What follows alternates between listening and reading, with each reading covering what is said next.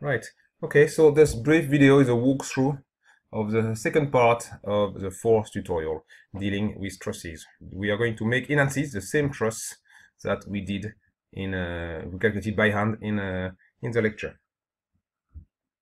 We start by opening Workbench and I have dragged a static structural analysis into schematic and then I will go into the geometry in design modeler to edit So in Design Modeler, I will select the plane, look at it, start sketching, and create my object. I check the units, I'm in millimeter. That's fine for what I want.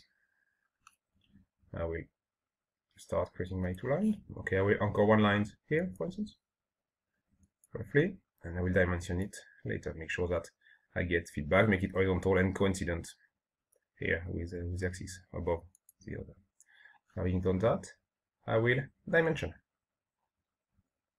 So it's always a bit tricky to dimension these things. Let's try put I dimension on that one, which will be 0.75. Okay, and the next one, I will want, I think, a vertical between that and that. Perfect. Okay, H1 and V1. H1 is 750 millimeter and V2 is 500 millimeter. 0.5 meter. All right. I can decide to uh, to zoom it to see it better. Fine. Now the next thing to do consists in generating a line uh, a line object. So I will use line from sketches from content line from sketches. I select the sketch number one I apply it and I add material. I can then generate it and that create a line one object. The next thing is to create a cross section for, this. I will do a rectangular cross section. It's the simplest. So that essentially create a special kind of uh, of sketch which is already uh, pre uh, predefined. So to get desired cross section, I need 50 millimeter times 200 sorry 20 millimeter to give me a thousand millimeter square fine. Okay. Select it. It's fine. Next thing I have to do is on that object is choose the cross section. I click on it, the line body object, and uh, associate the cross section. Just created one, called rectangle one, and it is done.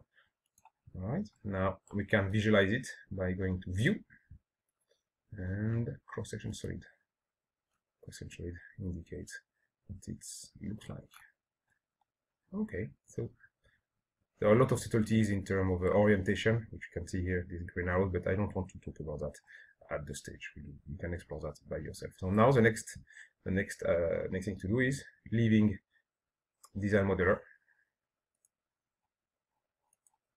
to return to Workbench.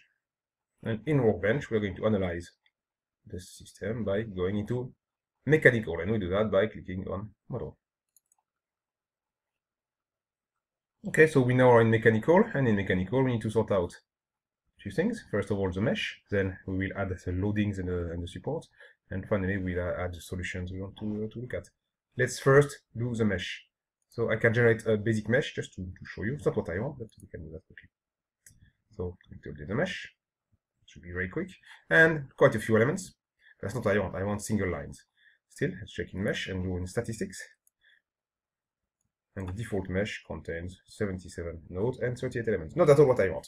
So in order to do it properly, I will insert the sizing, select the two objects. So I need to make sure that they are edges, so I put a filter, one, control, two, and apply them. And in terms of type, I will choose a type of, uh, of sizing, not an element size, but in element number of divisions, and I want one division per element, which is shown here in these uh, yellow uh, nodes, if you want. Okay, and I okay with that, I'm going to update the mesh and check the number of elements. Mesh statistics. Okay. Get that a bit higher, and I have got two elements. Yeah. Five nodes. Five nodes a bit surprising. I would expect one, two, three nodes, but there are extra nodes for the beams out of plane, I think, in order to account for the orientation of, uh, of, uh, of the beams. Okay, so next thing to do is to apply the loadings and the uh, loading and reactions. Well, constraints. Okay, so as usual, I need to add my supports. So I will add two fixed supports. One here, again, I need to have vertex selection, apply. That's my first fixed support. I want another support. I can also get support from here. Insert fixed support. It kept it kept uh, the vertex select selection. That's great. Apply. Okay, great. Two uh, supports. Can see them both here in fixed support. I need to add now uh, force. Force. Uh, select it first. Okay. Apply at that point, and the value is not a vector. What I want is component components and I want along the y component and I think minus 1000 Newton. Good. Perfect. That is the uh, force is a, a loading. It's a.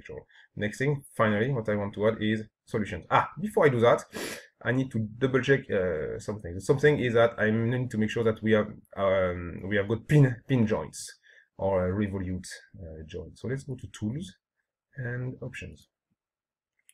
Any connections. I need to make sure that I've got revolute joints. And fixed joints? No not fixed joints. The y to behave as beams in, uh, in bending which is not what we want. We want it to compare with uh, a truss with pin joints. Okay and let's add my solutions so in solution you can see I don't have as many I don't have stress for instance it's because these are beams and not standard uh, elements so I don't want them to be beams, I want them to be trussy, but that's another story, we'll see that in a minute. So I'm going to add deformation, one total deformation. I'm also going to have to add directional deformations. One along the x-axis, that's fine. I could rename it, but if we have time, so let's do like that and insert finally another deformation, this time along the y-axis. Okay, Z is pointless due to symmetry. I also need to add some force reactions. Force reactions because that will help me to calculate to get the force easier. So I get them by name, so fixed support, and another one,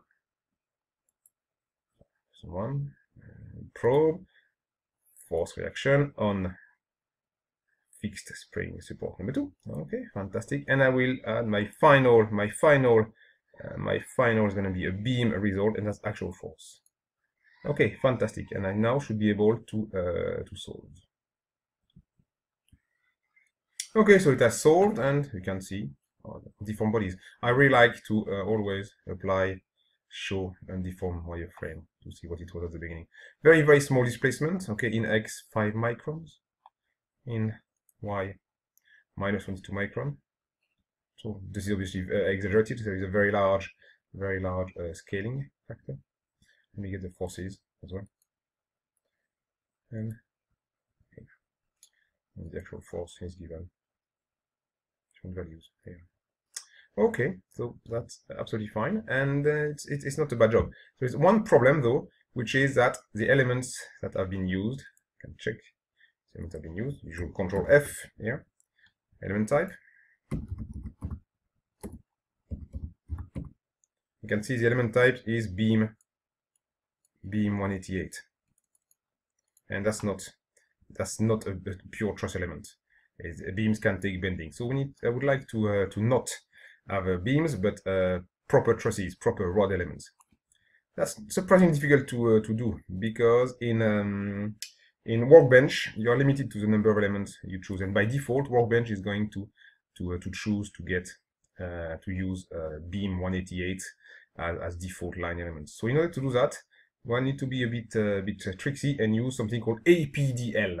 APDL stands for uh, ANSYS Parametric Design Language, I think, and allows you to essentially um, short circuit uh, the um, normal normal run and introduce commands of, of your own. So we're going to do that. Okay, so you do that, and uh, you select body. In fact, you can add you can add uh, these apdl commands in three places: in pre-processing, in processing, and in post-processing at the, at end. But here we want to add a pre-processing command. So insert command that gives us access to to this. So bit of blurb. Um, here, what what we have here are um, comments. So if it starts with a, the exclamation mark like that, it's for a comment. So write something stupid. I don't know. Uh -huh. And then we want want to write the various uh, commands that uh, are given in, in, in, the text.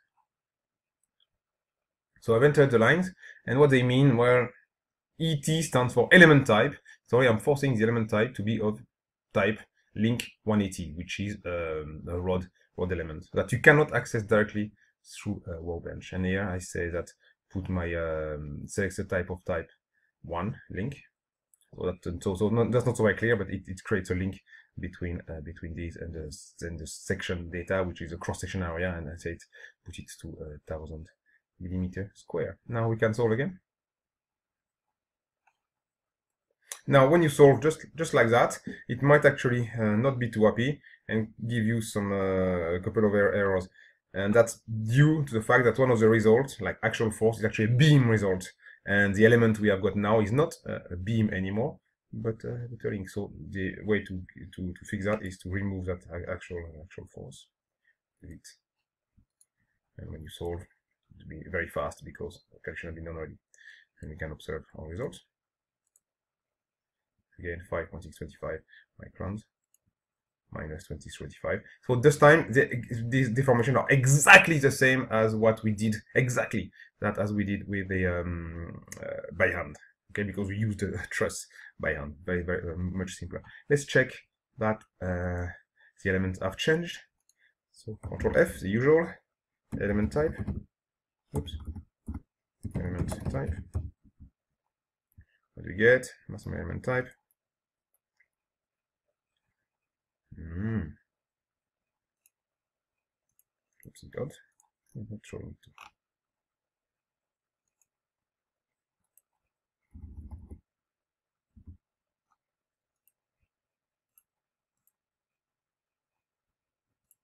Can't find the element here. Strange.